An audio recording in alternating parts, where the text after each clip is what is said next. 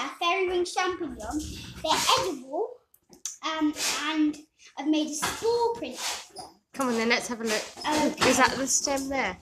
Yeah, this is the stem. Okay, look. Oh, it's very bright, this film. Oh, Wow.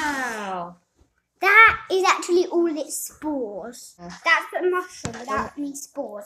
So what's the what are these ridgy bits? Oh, they're the gills, and all the spores fall out between the gills. The spore is a tiny, weeny thing that's microscopic, and that's what grows the mushroom.